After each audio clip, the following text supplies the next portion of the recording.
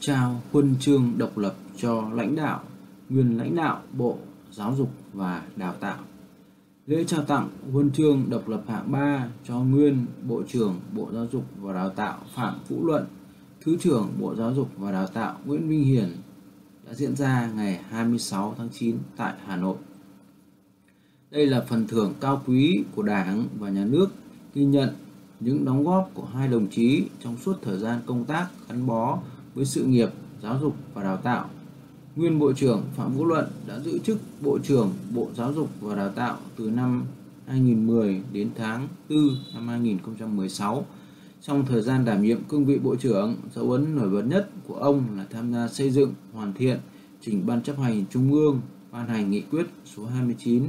NQTW ngày 4 tháng 11 năm 2013 tại hội nghị Ban chấp hành thứ 8 Ban chấp hành Trung ương Đảng khóa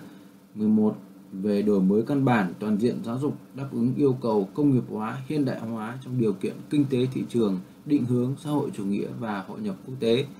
Thứ trưởng Nguyễn Vinh Hiển được bổ nhiệm làm Thứ trưởng Bộ Giáo dục và Đào tạo theo quyết định ký ngày 28 tháng 12 năm 2007 của Thủ tướng Chính phủ. Ông là người trực tiếp phụ trách các lĩnh vực giáo dục tiểu học, giáo dục trung học, giáo dục thường xuyên, phân luồng và hướng nghiệp học sinh, đổi mới chương trình giáo dục phổ thông, phát triển ngành sư phạm. Ông phụ trách các đơn vị vụ giáo dục tiểu học, vụ giáo dục trung học, vụ giáo dục thường xuyên, cục khảo thí và kiểm định chất lượng giáo dục. Thứ trưởng Nguyễn Vinh Hiển cũng phụ trách nhiều đề án, dự án, chương trình trọng điểm như đề án phát triển các trường trung học phổ thông chuyên, đề án xây dựng xã hội học tập giai đoạn 2012-2020, dự án giáo dục trung học cơ sở vùng khó khăn nhất giai đoạn 2.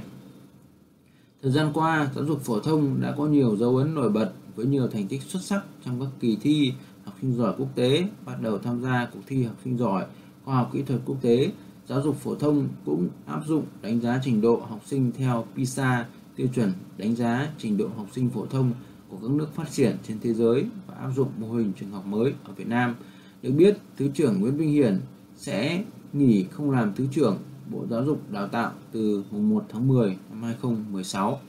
Nhân dịp này, hai Thứ trưởng của Bộ Giáo dục và Đào tạo là Nguyễn Thị Nghĩa và Phạm Mạnh Hùng cũng được trao tặng huân chương lao động hạng nhì